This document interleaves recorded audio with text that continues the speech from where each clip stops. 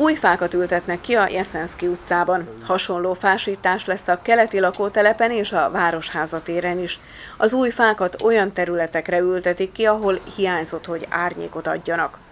Ebben a tavaszi időszakban több mint száz fát fogunk kiültetni a városba, ezek mind méretes fák, közöttük a fajták, ugye a oszlopos gyertyán, szivarfa, juharfák.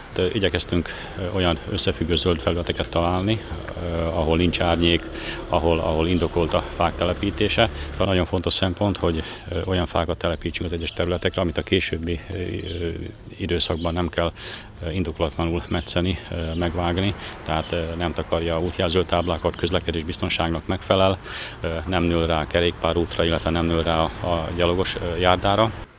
A fákkal párhuzamosan összesen 800 bokrot és cserjét szintén kiültetnek.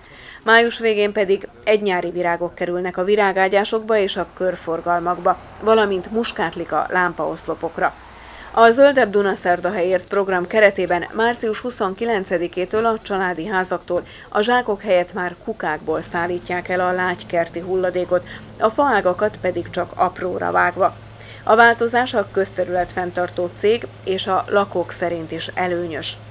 Szerintem ez egy nagyon jó megoldás, mivel a zsákok igaz, hogy lehet, hogy több fér bele, de viszont szakadtak, probléma volt, és gondolom, akik elvitték, azoknak is azért naponta emelgetni rengeteg zsákot, mert azért, ha azt valaki megrakta, annak azért volt súlya.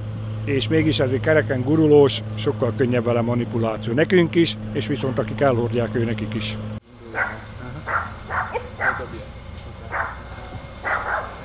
Nem kell emelni a zöldságokat, nem kell kihúzni, tehát ez kerekeken gördül, könnyebb a kollégáinknak is kezelni ezeket, nem befolyásol annyira minket az időjárás, mint eddig.